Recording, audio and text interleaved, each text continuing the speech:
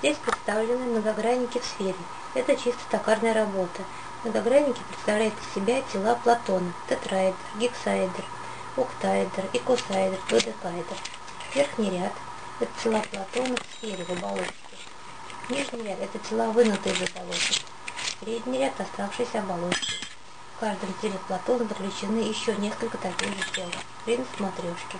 Например, в этом шаре заключено 6 додекаэдров, в самом большом 10 додекаэдров, а в самом маленьком 4 додекаэдра.